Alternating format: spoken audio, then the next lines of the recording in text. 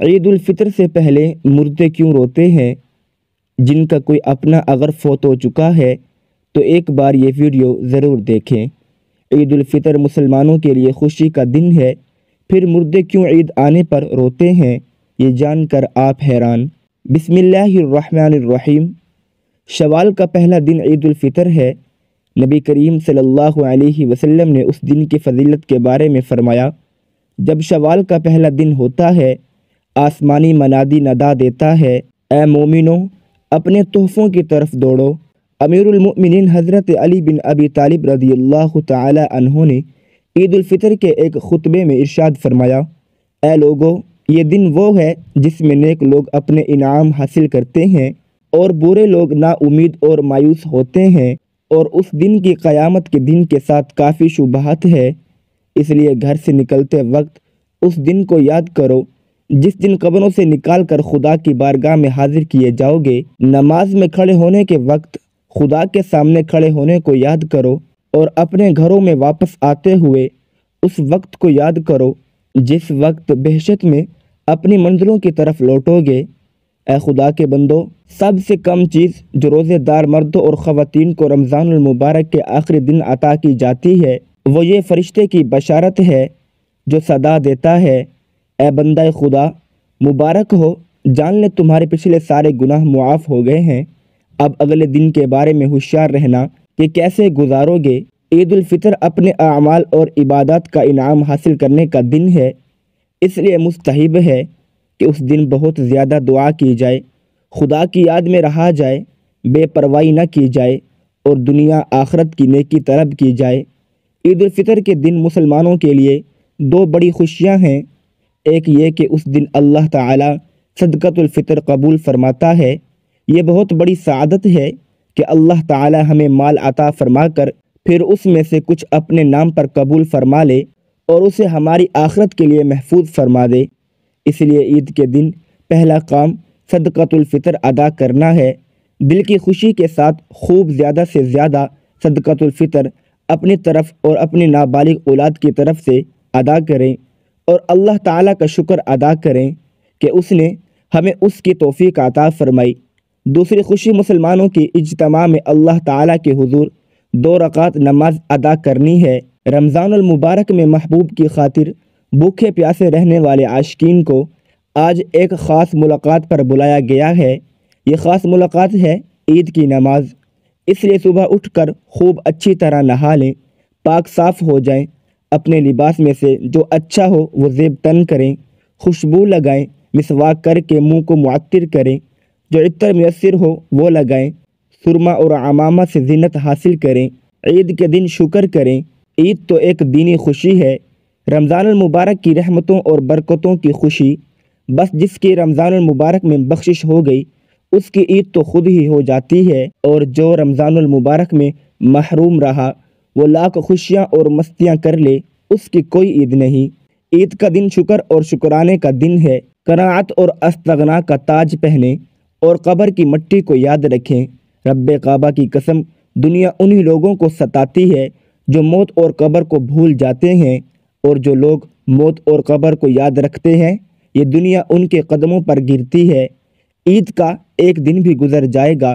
चारों तरफ़ दुनिया के मेले देखकर अपनी गरीबी और फ़कीरी को दागदार न होने दें। जब ईद का दिन आता है तो मुर्दों में कब्रों के अंदर एक हलचल सी मची होती है। ज़मीन के ऊपर तो एक खुशी होती है। ईद का दिन होता है, एक बहुत ही पुरमसरत मौका होता है। लेकिन कब्र के अंदर का माहौल ये होता है कि अल्लाह पाक जो आज़ाब रमज़ान में उन पर से हटाता है, वो वापस नाजिल हो जाता है। जैसे आप सल्लल्लाहु अलैहि वसल्लम ने फरमाया कि जब रमज़ान का चाँद देखा जाता है तो शयातीन को जकड़ दिया, उनको कैद कर दिया जाता है, और मुर्दों के आज़ाब में भी अल्लाह ताला रमज़ान में तखफीफ फरमाता है।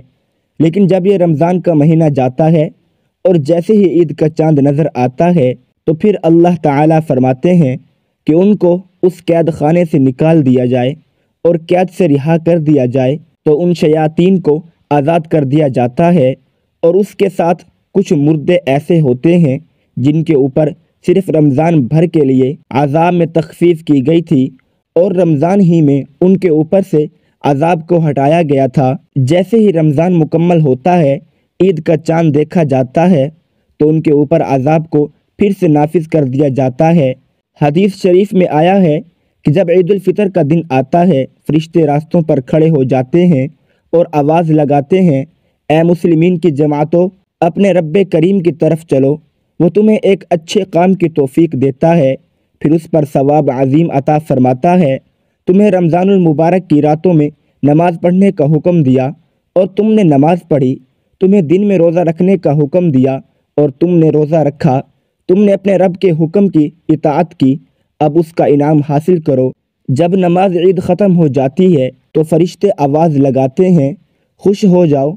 कि तुम्हारे परवर दिगार आलम ने तुम्हारी मगफरत फरमा दी। अब तुम खुशी खुशी अपने घरों को लौट जाओ। इसीलिए उस दिन को इनाम इकराम का दिन कहते हैं, जब नबी करीम सल्लल्लाहु अलैहि वसल्लम मक्का मुकरमा से हिजरत करके मदीना मुनवरा पहुँचे तो अहले मदीना साल में दो मेले करते थे। जब हुजूर अकदस सल्लल्लाहु अलैहि वसल्लम ने दरियाफ्त फरमाया, ये क्या है? उन्होंने अर्ज़ किया, या रसूल अल्लाह ज़माना जहलीत में हम इन अयाम में खुशी मनाते थे। हुजूर अकदस सल्लल्लाहु अलैहि वसल्लम ने इरशाद फरमाया, खुदा ताला ने इनके इवज़, इनसे बेहतर दिन खुशी मनाने के लिए तुम्हें अता फरमाए। एक ईद फ़ितर और दूसरा ईद अज़हा। ईद के दिन दो रकात नमाज़ वाजिब है। जिन लोगों पर जुमा की नमाज़ फ़र्ज़ है, उन्हीं पर ईद की नमाज़ वाजिब है। और जो शर्तें जुमा की नमाज़ की हैं, वही ईद की नमाज़ की हैं। मगर ईद में नमाज़ का खुतबा नमाज़ के बाद पढ़ा जाता है और ख़ुतबा पढ़ना और सुनना सुनन मुक्दा है। ईद के नमाज़ के लिए अजान और तकबीर नहीं, बल्कि आफ्ताब बुलंद होने के बाद सब मुसलमान एक जगह जमा हों। जब सब जमा हो जाएँ तो इमाम उनको दो रकात नमाज़ पढ़ाए और हर एक रकात में तीन जायद तकबीरें कही जाएँ। उन जायद तकबीरों को कहना इमाम और मुक्तदी दोनों पर वाजिब है। उसके बाद इमाम मिंबर पर खड़े होकर खुतबा पढ़े। अब बात यह है कि ईद तमाम जीते जागते इंसानों के लिए तो खुशी का बायस है, लेकिन मुर्दे ये क्यों चाहते हैं कि कभी भी ईद ना आए? हम लोग तो ईद की खुशी मना रहे होते हैं, लेकिन मुर्दे ईद आने का गम मनाते हैं। कुछ मुर्दे ऐसे हैं जो ईद के आने पर बहुत दुख में आ जाते हैं और बहुत मुसीबतें उनके ऊपर आने वाली होती हैं, और इस वजह से वो लोग बहुत ज़्यादा परेशान होते हैं। जब हम लोग इधर उधर शॉपिंग कर रहे होते हैं घूम रहे होते हैं। हम लोगों को ईद आने की खुशी होती है कि ईद जल्दी आए, लेकिन मुर्दों को ईद आने का दुख होता है। आप सल्लल्लाहु अलैहि वसल्लम ने इरशाद फरमाया कि अगर कोई इंसान रमज़ान के महीने में इंतकाल करता है तो उसके ऊपर अजाब नहीं होता और कब्र में उससे सवाल जवाब नहीं किया जाता। चाहे वो कितना भी गुनहगार बंदा क्यों ना हो, रमज़ान में इंतकाल उसका हो जाए तो रमज़ान के महीने की बरकत उसको ये मिलती है।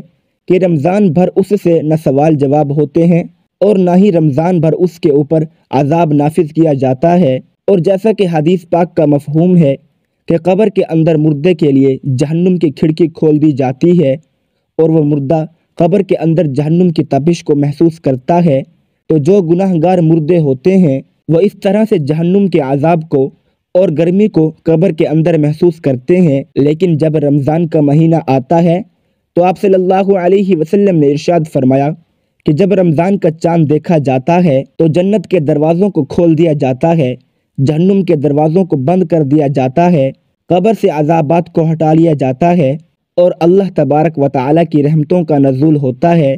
ये सारी चीज़ें होती हैं तो जो मुर्दा होता है, उसको बड़ी राहत मिलती है। रमज़ान के आने से मुर्दा बड़ा खुश होता है कि हमारे ऊपर से आज़ाब उठा लिया गया। जो कब्र के अंदर हमारे लिए जहन्नुम के दरवाजे खोले हुए थे, वो दरवाजे बंद कर दिए गए। तो वो मुर्दा बड़ी राहत महसूस करता है। अब सवाल ये पैदा होता है कि जिन लोगों के ऊपर से अल्लाह ताला ने रमज़ान में अजाब हटा लिया तो ईद के बाद उनके ऊपर अजाब नाफिज होता है या नहीं? कुछ मुर्दे ऐसे होते हैं जिनके ऊपर अजाब नाफिज नहीं होता, लेकिन बहुत सारे मुर्दे ऐसे होते हैं जिनके ऊपर ईद के दिन ही जैसे रमज़ान का महीना ख़त्म होता है फ़ौर ही उसी तरह अजाब शुरू हो जाता है। जैसे पूरा साल वो लोग कब्र में सज़ा और अजाब भुगत रहे थे, अजाब में वो लोग फिर मुलविस हो जाते हैं, गिरफ़्तार हो जाते हैं। बाज़ फरमाते हैं कि जब कोई इंसान रमज़ान के महीने में इंतकाल करता है और उसे कब्र में सवाल जवाब नहीं होते और जब एक मरतबा अल्लाह ताला किसी के ऊपर से अजाब को हटा ले तो फिर दोबारा उन पर अजाब नाजिल नहीं करता। बशर्त यह कि उसके लिए कोई इसल सवाब कर रहा हो या मकफरत की दुआ कर रहा हो, हर मुर्दे को उसके अमाल के मुताबिक सज़ा दी जाती है। जो नेक लोग होंगे, जिनको अल्लाह ताला ने काफ़ी कर दिया कि उनको दो या चार छः महीने सज़ा होगी, बस अब उनके ऊपर सज़ा नाफिज नहीं होगी। हर रमज़ान की बरकत से उन पर से अजाब हटा लिया गया। तो अब अगर अल्लाह ने चाहा तो उन पर भी कभी अजाब नहीं होगा। लेकिन अगर कोई बहुत ज़्यादा गुनहगार है, मसलन कोई ऐसा बंदा है, जिसका इस्लाम से ताल्लुक़ ही नहीं, जो इस्लाम को जानते हुए भी इस्लाम को मानता नहीं था, कुफर व शिर का मुरतकब हो तो अगर अल्लाह ने चाहा तो उस पर रमज़ान के बाद भी अजाब जारी रहेगा। और अगर अल्लाह ने उसे मुआफ़ कर दिया तो फिर उसे कभी भी अजाब नहीं होगा। रमज़ान के बाद भी नहीं, क्योंकि अल्लाह मुआफ़ करने वाली ज़ात है। उसकी रहमत से कभी मायूस नहीं होना चाहिए। नाजरीन, जब रमज़ान का महीना ख़त्म होता है तो रमज़ान की बरकतें भी ख़त्म हो जाती हैं। शैतान को कैद से रिहा कर दिया जाता है। मुर्दों पर से रहमत का मामला ख़त्म हो जाता है। जहन्नुम के दरवाजे जो बंद थे रमज़ान में, वो रमज़ान के जाने से खोल दिए जाते हैं। जन्नत के दरवाज़ों को अल्लाह ताला बंद फरमा देता है। इन सब बातों का मुर्दों को इल्म होता है कि कब रमज़ान शुरू हो रहा है। और कब ख़त्म? तो रमज़ान के जाने से अहल कबूर ये सोचते हैं कि कब रमज़ान जा रहा है और फिर ईद जैसे ही आएगी, उसके बाद हम पर आज़ाब को फिर नाफिज कर दिया जाएगा, जिसकी वजह से वो गमगीन हो जाते हैं और रोते हैं।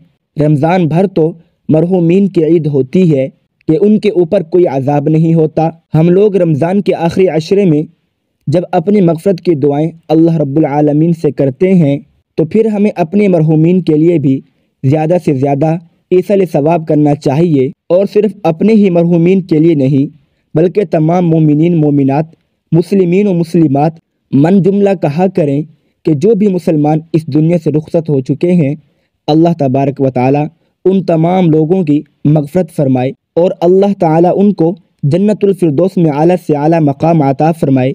अल्लाह पाक हमें बेहतर अमल करने की तोफ़ी अता फ़रमाए। अल्लाह पाक मेरी और आपकी बख्शिश फरमाए। आमीन।